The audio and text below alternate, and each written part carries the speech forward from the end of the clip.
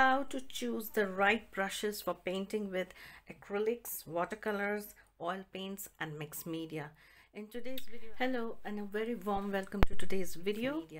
In today's video, I'm going to take you through some quick tips to select the right brushes to paint with your chosen uh, medium.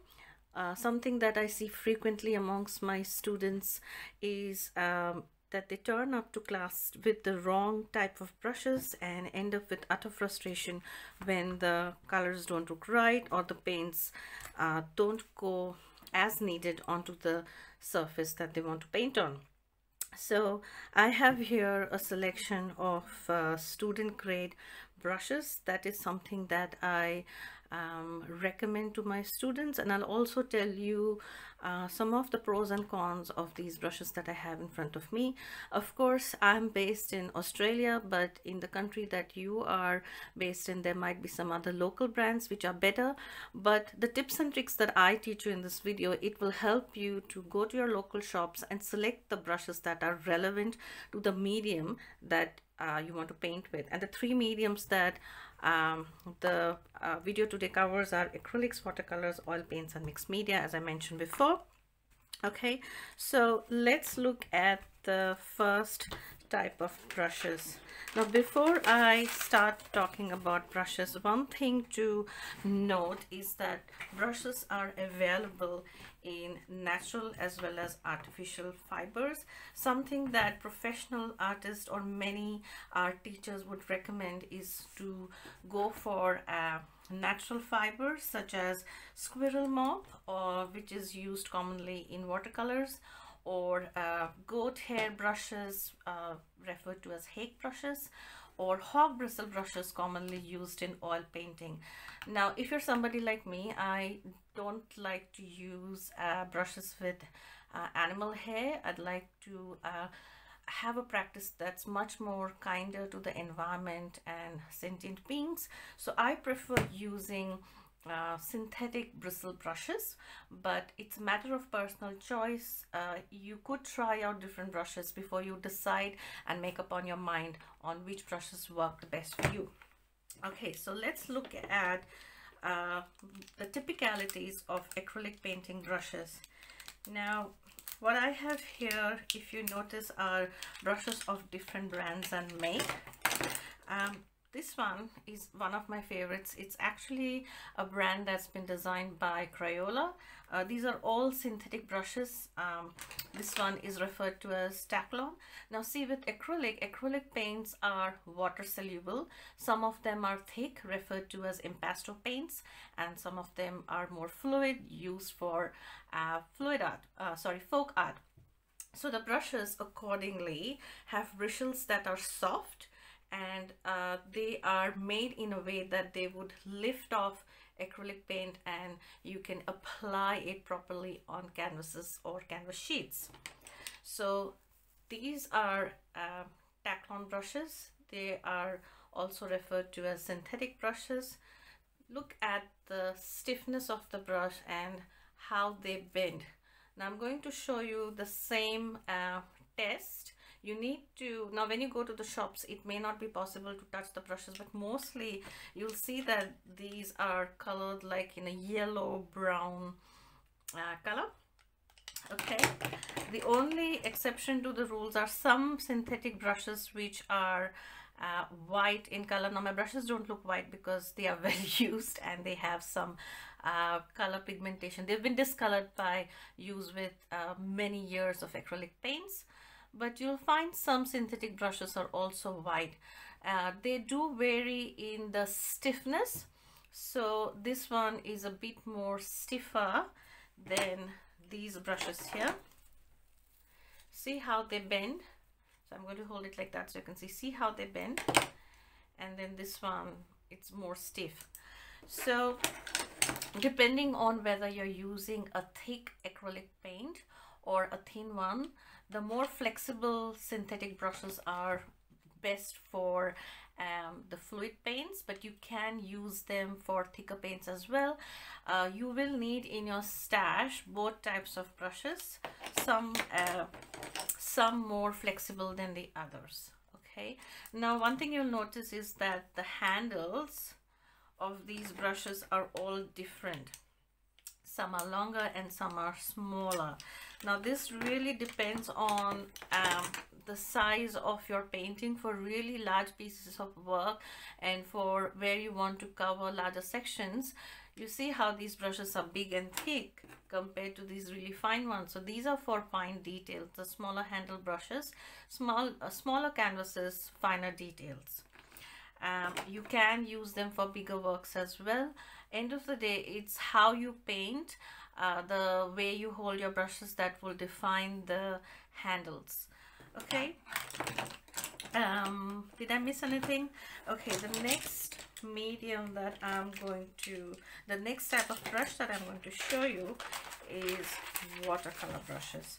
Now watercolor brushes are way uh, softer and way flexible than um, acrylic brushes okay? You do get synthetic watercolor brushes as well which is what these are. These this these aren't uh, animal fiber okay? They are short haired synthetic brushes. This one though is a squirrel mop brush. I didn't buy it just to be uh, clear on that. I got it as a gift uh, but my preference is for um, artificial synthetic brushes.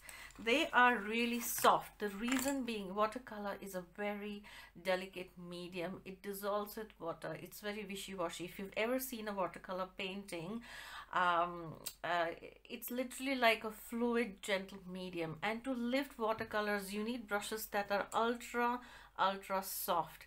See how they flex all the way and see how they spread out. Now these brushes are really cheap brushes. I recommend them for students who are just starting off and who don't have a budget. Um, but they do give out bristles which is something that uh, that's not preferable. You need brushes that do not release bristles into your painting. But for just watercolor medium I make an exception and uh, do recommend these brushes to my as students. The reason being watercolors once they are dry you can lift off it is easier to lift off any loose bristles that come off. Of course if that's not preferable if that's not what you want you could go for the better well-known brands such as Winsor and Newton uh, to buy quality professional grade watercolor brushes. Um, the bristles loosening and coming off on your paintings it's not preferable for acrylics and oils. And the reason is they are much uh, thicker gooier mediums. And if you try uh, lifting off any of those loose uh, uh bristles from your canvas you're going to end up spoiling your painting which is why it's not recommended. Even if it is wet painting I prefer quality acrylic and oil brushes with watercolors. I am a little bit lax in my rules uh, for my own practice but I do explain that there are choices depending on your budget on the type of uh, brushes that you could buy. So um, uh, yeah if you have a budget then go for a better brand of watercolor brushes. If not these ones would just work just fine. It's a Mont Marte brand and they have an extensive range of products for uh, from really uh, low budget or inexpensive items for children school children to uh, more uh, quality kind of materials for professional artists. So uh, you could hop on to just google out Mont Marte I'm not an affiliate with them at the time of shooting this video but it's something worth checking out if it's available uh, in your country or place of uh, living. Okay so the next type of brush that I'm going to talk about is oil painting brushes. Now with oil paints as I mentioned before it's always preferable to use brushes that are sound and won't um, ah, rubber band got stuck. And won't leave bristles onto your canvas while painting.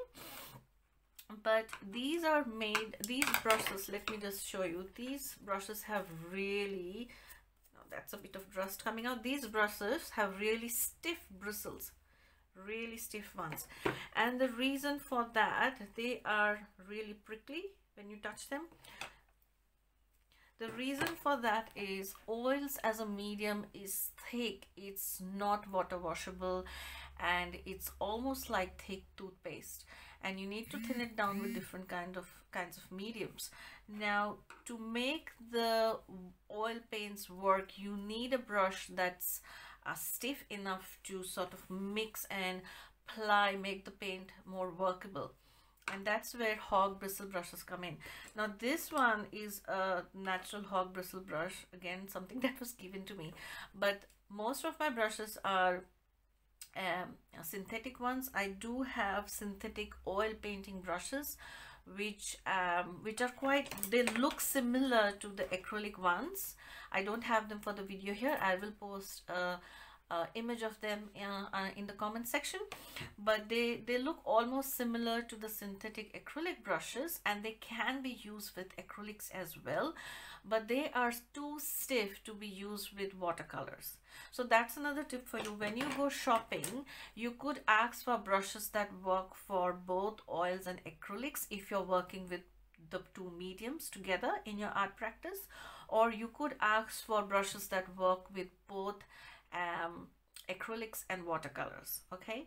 So oh I forgot to change the page. So we are looking at oil paint brushes so um, okay now another thing that you would notice is that oil paint brushes have really long handles okay?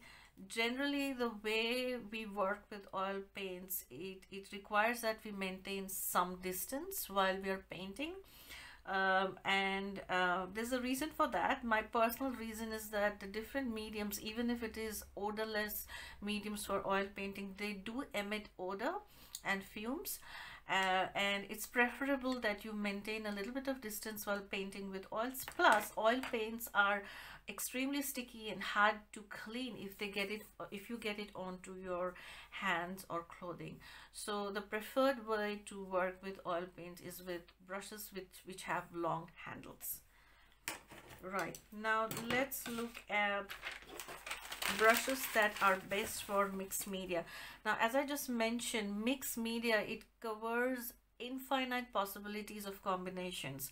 So some artists combine oils uh, with acrylics while others like myself i love combining um, acrylics with oil pastels and pens posca pen markers paint markers etc but some mixed media artists uh, uh, have combinations where they use inks uh, with watercolors and acrylics okay?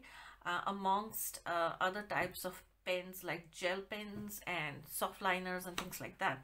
So coming back to brushes uh, there are some brushes which are perfect for use with watercolors and acrylics in mixed media projects. Now what that means is traditionally watercolor brushes are a typical watercolor brush is designed to pick up pigment as well as load or lift off or suck in a lot of water okay?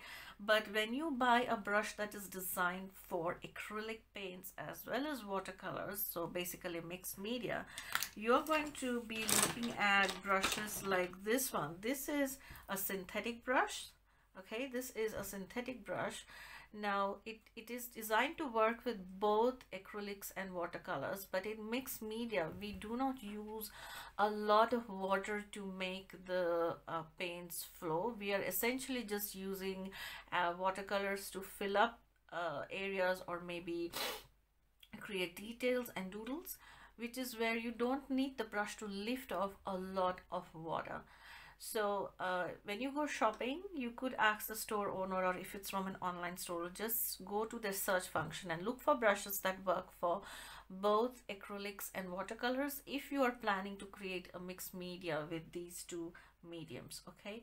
And these synthetic brushes they also work well with inks.